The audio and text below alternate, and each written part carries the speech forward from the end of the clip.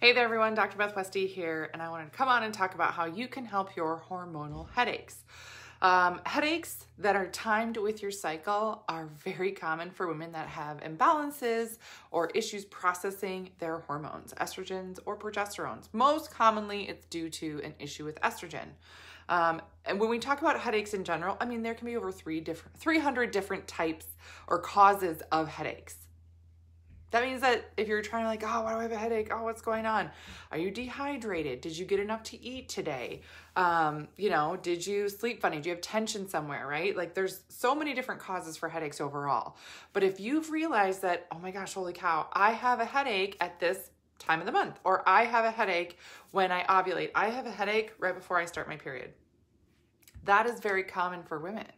So when you're looking at hormonal headaches and getting some help with this, it's a different thing to look at this um, and go after helping your hormonal headaches versus just regular headaches. So when we look at hormonal headaches, the reason you have them is because there's an issue with either your liver processing those hormones because majority of hormones are processed by your liver.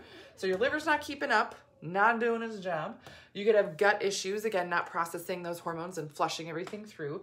Um, issues with your sleep, you're not getting enough rest to help that you know um, process happen overnight or issues with your blood sugar yeah so here are some things to really help and focus on um, these things they're very simple they're just a few things but they can actually make a really big impact now if you start doing this today and you're like oh no i'm supposed to get my period in two days and i'm gonna get a headache is it going to help? Maybe not for the first one.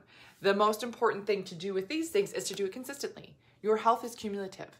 So the more you do this, the better things are going to be for your hormones. First thing is get enough protein in your day, uh, protein pacing, that type of a thing. You can use things to help flush your liver. Um, you know, sometimes women will go through liver cleanses. You know, when we work together, you know, in the 12 week challenge, I will take you through a specific hormone detox based on whatever your Dutch test says in terms of your hormone processing. Because everybody who does uh, the 12 week gets a Dutch test. Yes, awesome.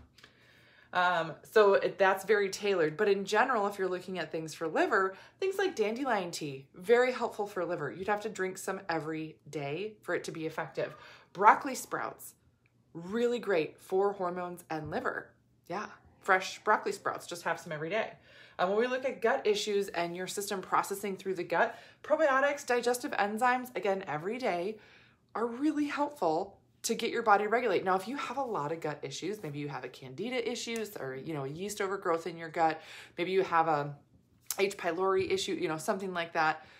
Is this going to cut it? Maybe not. So we have to look further into that, of course, but this can really help and get you ahead of the game in terms of processing these hormones so you don't get headaches from them.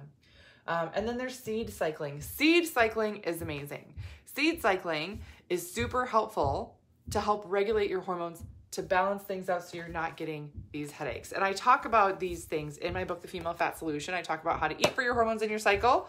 And then um, this book, The Female Menopause Solution, talks about how to eat for your perimenopausal, menopausal body. Because a lot of women who are in perimenopause will still get hormonal headaches. Yeah, that's not fun. If you're looking for other resources, you can always check out my YouTube channel, which is called Dr. Beth Westie, and then my podcast is called The Female Health Solution, uh, where you can subscribe to stay updated on all the things I am releasing. So that's what I got for you guys today. Let me know if you have any other questions. Otherwise, I will see you later.